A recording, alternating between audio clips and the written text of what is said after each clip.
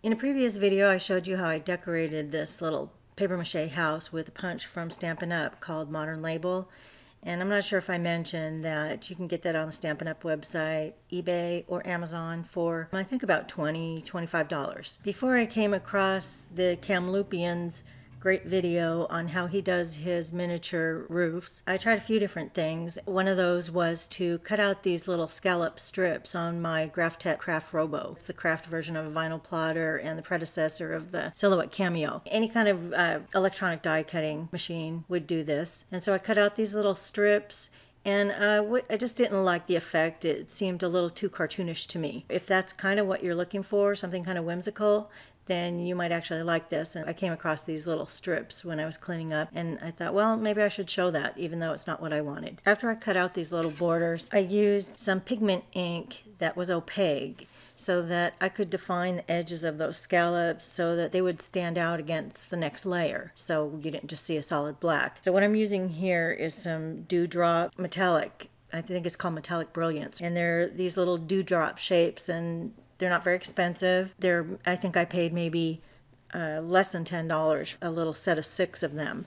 And they're small and they don't take up much space and inexpensive for a lot of colors. This is the Cosmic Copper, which I thought was a really good color because copper is a color that you might have actually found on a rooftop. I also show the silver, which is a little bit more subdued silver, and then platinum, which has a kind of brighter, whiter look to it, which I thought could be kind of cute if you're doing a winter scene and you want it to look a little bit snowy.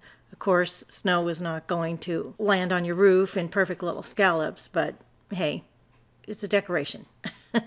what I'm doing is just a decoration. There is also some similar products called Colorbox Cat's Eye, and I don't show it here. I actually didn't try it, but there's some kind of uh, earth tone opaque colors you could try.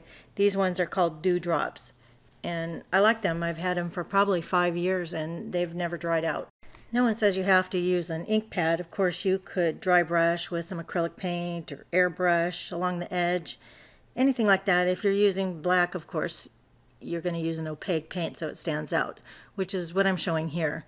If you use the craft paper like I did, you could use just any kind of ink or paint or airbrush, whatever.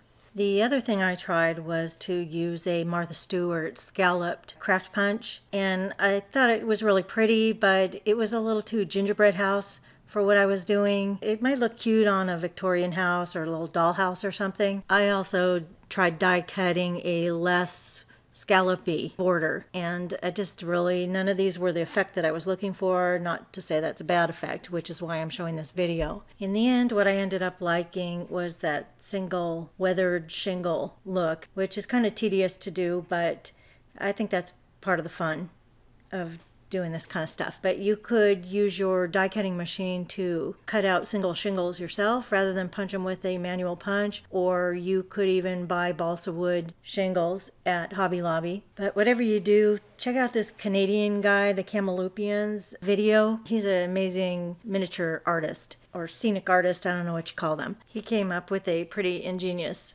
way of making the little shingles and uh, watching his videos will really set off all kinds of creative ideas for you. And that's how I came up with this paper punch version. So if you found this boring or helpful, whatever you found it, leave a comment and let me know.